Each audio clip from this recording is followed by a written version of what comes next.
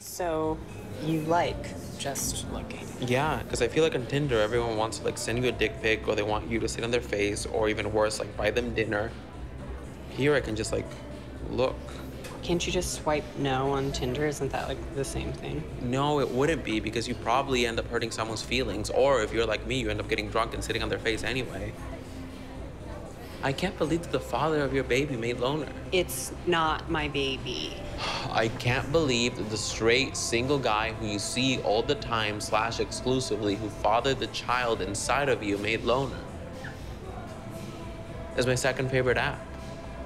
What's your first favorite app? An app that tracks your periods. Why do you have an app that tracks your periods? my periods, your periods.